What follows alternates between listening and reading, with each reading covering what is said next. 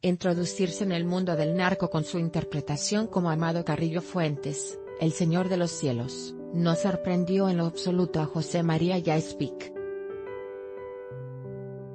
Y es que el actor que forma parte de Narcos, México, la cuarta temporada de la serie de Netflix, explicó que desde joven tuvo una cercanía con el narcotráfico, pues creció en un contexto donde tenía que convivir con los hijos de estos líderes del crimen organizado. A mí no me sorprendió nada introducirme en esta historia.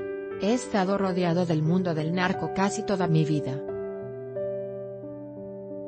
Viví y crecí en Tijuana, iba a fiestas donde estaban los Arellano Félix, tengo, bueno, tuve amigos, ya murieron todos, que fueron narcos juniors, recuerda el actor, estudiábamos en una escuela privada que se llama San Agustín, de puros hombres, y cuando cruzaba la línea eran los narcos juniors de los Arellano, recordó Yaspic durante la presentación de esta producción que estrenará en Netflix el 16 de noviembre.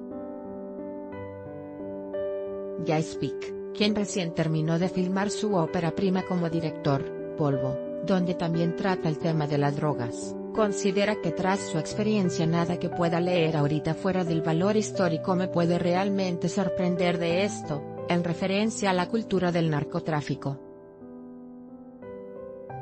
Sin embargo, considera que una serie como Narcos, México es fiel a lo que sucedió.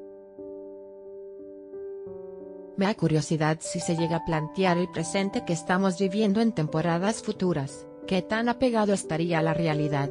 Pero sí es terrible decirme que no me sorprendió nada, confesó. Baja California albergó a principios de los años 80 el famoso Cártel de Tijuana, una organización criminal liderada por los sanguinarios hermanos Benjamín y Rafael Arellano Félix que en su época se volvió la más poderosa del país.